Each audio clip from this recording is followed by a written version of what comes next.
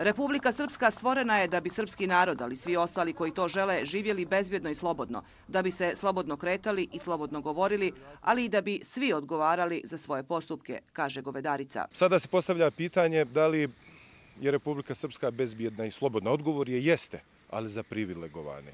S druge strane, mi imamo e, režim koji proganja članove grupe Pravda za Davida, narodnog poslanika e, Draška Stanivukovića, kao i ostale, e, samo isključivo s jednim razlogom, da zataškaju ubistvo koje se dogodilo. Davidovi roditelji i svi ljudi koji im pružaju pomoć i podršku žele samo odgovor na pitanje ko je i zbog čega ubio Davida Dragičevića.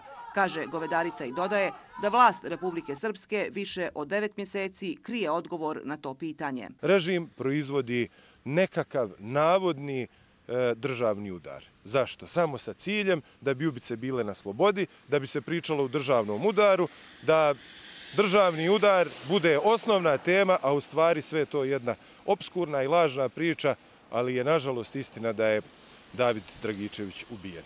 Eto, u takvom ambijentu mi dočekujemo Dan Republike Srpske. Zabrinjava, ali i boli činjenica da u oči velikih srpskih praznika policija Republike Srpske rastjeruje narod iz porte Srpskog hrama.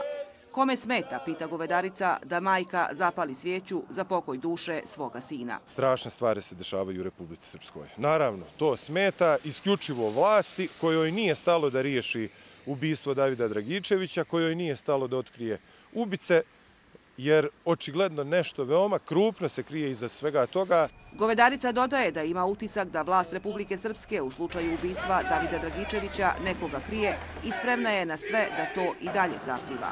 Koga krije? Utam se u Boga, pravdu i istinu, da ćemo to jednog dana saznati, zaključuje Govedarica.